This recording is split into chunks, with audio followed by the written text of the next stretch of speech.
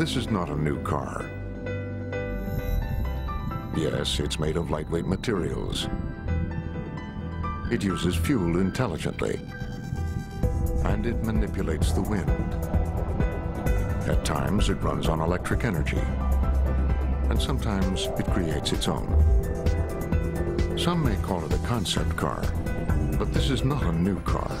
This is every car we build.